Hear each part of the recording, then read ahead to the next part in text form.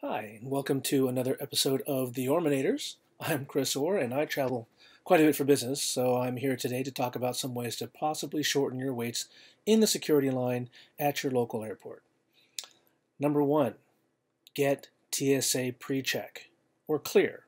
Uh, or Global Entry, which will come with uh, Clear or Nexus or one of them. There's several of them out there, but one of them should be a no brainer. Have you ever gotten to the airport and seen the, the lines at the regular TSA checkpoints wrapping around the corner while the folks in the TSA pre check lanes are breezing through? There's a reason for that. They don't have to take off their shoes and take out their laptops, and liquids can stay in their bags.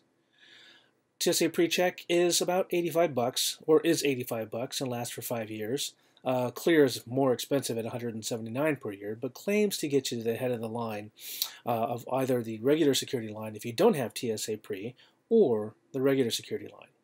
I've never used Clear, so I can't give you an honest assessment of it, but I do have TSA PreCheck by virtue of having global entry, which is another one which is will shorten your lines, especially when coming back to the United States from an international location. I travel a lot to Canada, so being able to take the Nexus lane uh, when I'm driving back in, or uh, to be able to uh, to get into the TS into the global entry lane uh, when I'm going through customs, huge time saver. Either way, um, it'll shorten your your wait times at uh, at security, and I'll provide some links uh, down below um, to these programs. Another way of speeding your way through the lines is with one of these babies. This is the, uh, can you see that there? This is the uh, 511 uh, TDU one and a half inch belt.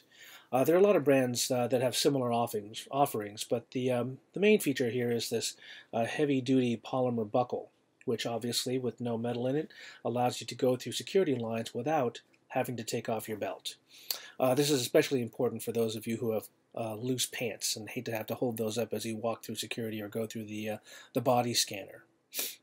If you insist on wearing a belt with a metal buckle or built boots with steel toes uh, or anything that will set off the detectors, another tip is to prepare ahead of time.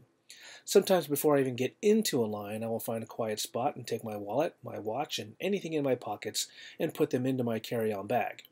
The idea here is that when you get in back into the line and get to the conveyor belt, you can just slip your shoes off uh, and throw them on the belt and uh, and put your bag on the belt and breeze through with nary a hesitation.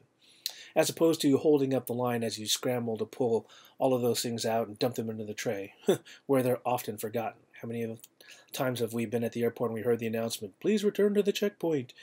Um, the point is, travel like you've done it before. We've all been in that line where the people in front of you act, act as if they've never even left the house before. Bottles of water in their bag, three tons of gold jewelry to remove, knee high lace up boots to take off, a liter of shampoo, and a full size toothpaste in their carry on. Ugh. Anyways, um, I hope you found these tips, a uh, few tips to be successful or useful. Um, I'll be putting, uh, I expect I'll be putting some more additional videos out along this same lines.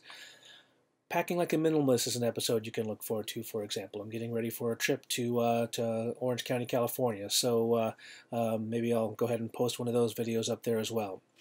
Um, we'll be staying at the Beverly Hills, Beverly Hills Marriott, uh, so uh, expect a review from there and uh, kind of a nice view. As always, thanks for watching. Uh, be sure to give me a thumbs up or a thumbs down along with some comments and to subscribe using the little clicky thing there on the page. All right.